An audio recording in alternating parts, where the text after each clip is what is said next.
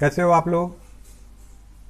अभी हम एक क्वेश्चन करेंगे अर्थमेटिक प्रोग्रेशन से. Find m if the nth term of n term of an AP is 107 and the sum of its first m terms is 4m square minus n. तो बच्चों, इसको solve करने से पहले हम लोग एपी की कुछ प्रॉपर्टी को समझ लेते हैं. एपी क्या होता है? A one a two a three ये एक एपी फॉर्म करता है. और लास्ट टर्म जो होता है इसका वो ए एन होता है।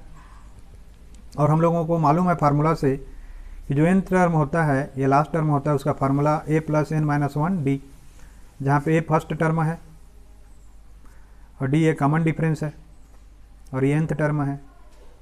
नंबर ऑफ़ टर्म्स है एम और ये एंथ टर्म है।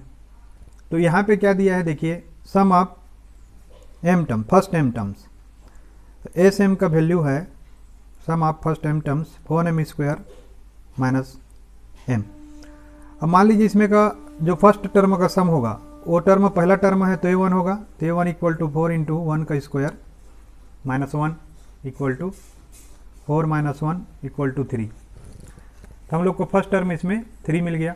लेकिन जो एस टू होगा एस टू क्या होगा बच्चों? इसमें ध्यान देने वाला बात है कि ये दो टर्म का सम है a one plus a two first two term का ये सम है।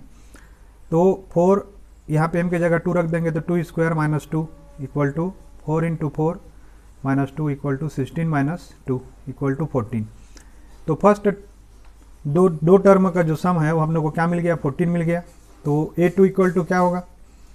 S two minus S one इससे अगर इसको माइनस कर दें a one plus a two minus a one a one plus a two minus a one तो हम लोगों को सेकेंड टर्म मिल जाएगा S two minus S one तो fourteen minus three equal to eleven तो हम लोगों को सेकेंड टर्म मिल गया इलेवन अब common difference common difference d जो होगा, वो दो कंजिक्यूटिव टर्म का डिफरेंस होता है a two minus a one equal to eleven minus three equal to eight अब कॉमन डिफरेंस हम लोग को एट मिल गया बच्चों. अब यहाँ पे देखिए the term a n equal to one hundred seven है. ये फार्मूला क्या है? First term plus n minus one d अब यहाँ पे फ़र्स्ट टर्म और डी का वैल्यू डाल देंगे. तो हम लोगों को नंबर ऑफ़ टर्म सेम मिल जाएगा। तो फ़र्स्ट टर्म इसमें है three plus n minus one d का वैल्यू है eight equal to one hundred seven जो कि एन टर्म है। अब आगे जाके इसको सॉल्व करेंगे तो हो जाएगा थ्री प्लस ये थ्री को इधर ट्रांसफ़र कर देंगे तो वन हंड्रेड सेवन से माइनस हो जाएगा।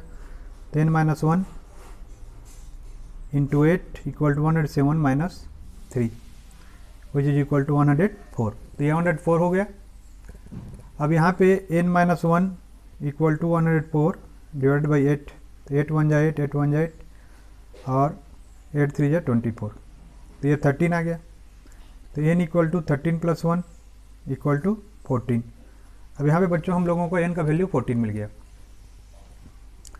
अब यही क्वेश्चन का आंसर है, क्योंकि क्वेश्चन में क्या पूछा है कि फाइंड एन तो अभी हम लोगों ने एन का वैल्यू 14 कैलकुलेट कर लिया। तो आशा करता हूँ बच्चों, ये क्वेश्चन जो है काफ़ी अच्छे से और काफ़ी इजी वे में आपको समझ में आ गया होगा। आप लोग वीडियो को लाइक करिए शेयर करिए चैनल को सब्सक्राइब करिए और बेल आइकन प्रेस करना ना भूलिए। वीडियो देखने के लिए हमेशा की तरह आप लोग का बहुत बहुत धन्यवाद। Thank you for watching